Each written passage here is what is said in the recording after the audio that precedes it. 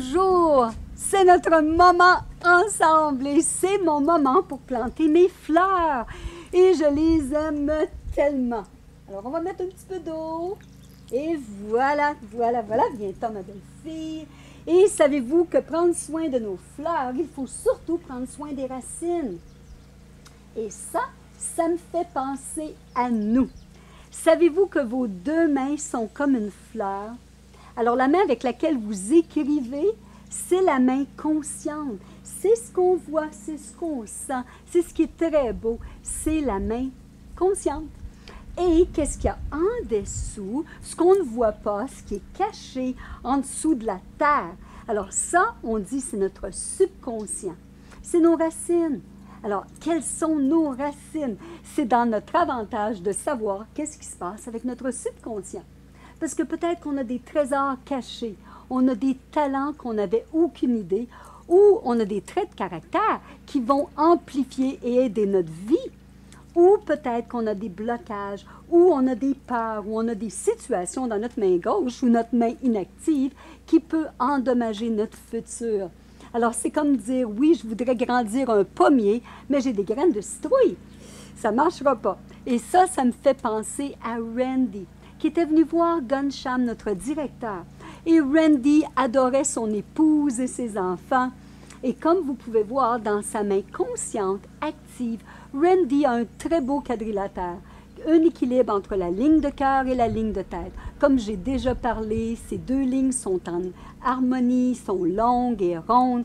Alors Randy dit à Gunsham, Gunsham, je veux supporter mon épouse. Elle a un grand, elle a une bonne idée de vouloir ouvrir un centre de yoga. Great! Et comment veux-tu l'aider? Oh, j'ai pensé voler une banque. Wow, Randy, c'est pas une bonne idée. Tu vas te ramasser en prison. Tu peux pas faire ça, Gunsham lui dit. Alors, vous pouvez voir d'où vient cette idée. Alors, on va aller voir dans son subconscient et regarder. Il a une ligne de tête qui est cassée.